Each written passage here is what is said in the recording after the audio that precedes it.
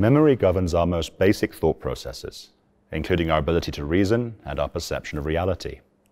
Cultural memory is a memory shared by a group of individuals that allows them to see the world in similar ways and cooperate effectively. Language and religion, for example, are powerful forms of cultural memory that connect vast numbers of people around the world. Cultural heritage expresses cultural memory in ways that we can commonly perceive through our senses. Today, archaeological science is providing an increasing amount of information about cultural heritage, such as where an object is from, when it was made, or in the case of human or plant remains, uh, the diet, the health, or the genetic origins of the individual. And this is transforming the way that we see our history, and it's also leading to advances in other fields of science.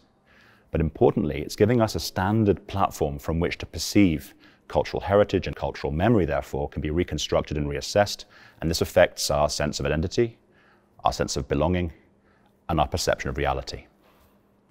Throughout history, the world and all the people inhabiting it have been governed by laws and customs.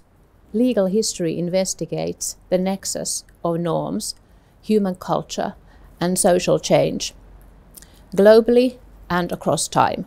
In fact, no country's legal system can be properly comprehended without understanding its legal culture and history.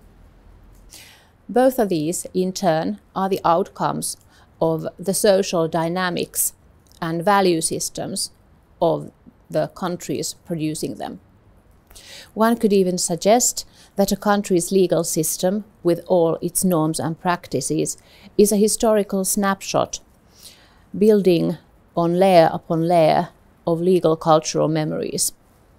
No legal culture is an island, and there has always been interaction between the legal system of neighboring regions. Cultural memory processes help to create and construct national and regional legal identities. Yet sometimes this amounts to legal cultural myth building. Cultural change and memory have vast influence on health and healthcare. They affect our perceptions of health, illness, and healing, how we react to death, or how we express or take care of people suffering from pain. The history of hospitals goes all the way back to temples of Egypt and ancient Greece. It is important to understand how this past is affecting the current and the future. Modern high technology hospitals have lean processes, but still have the same aim to help suffering people. Urbanization uh, is a global trend. Since 2008, at least half of the population of the planet Earth has lived in cities. Cultural memory helps us to identify the historical development of this long-term process and to recognize how urban history and heritage live today. Cities are layered, living entities in constant flux, but they are also sites of memory. If we want to understand urbanization in Africa, Asia, or Europe, it is vital for us to explore how we remember the past of our own cities and how these memories influence the way we perceive urban life. The media play a central role in the formation of cultural memory. We learn about the past from the media, both factual genres, such as documentaries, and fictional ones, such as historical television series. Media shape both what and how we remember.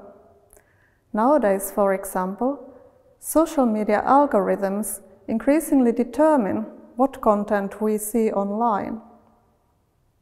Social media have become memory archives of sort. Social media shape the way we remember our past by storing and circulating content and by creating occasions for discussing memories. Thus, it is critical to understand the changing ways by which media technologies shape the formation of cultural memory. The media can limit the scope of cultural memory by focusing on the viewpoints of socially dominant groups. But they can also offer room for more diverse voices and create new connections between the memories of different people. Literature and other arts participate in shaping cultural memory. They play an important role in challenging dominant narratives of the past and in opening up a range of different paths to alternative futures. Literature can help us imagine how certain events, such as genocides or acts of solidarity, were possible in a certain historical and cultural world. And it can inspire us to imagine how things could be otherwise. Cultural memory matters because it can expand our sense of the possible.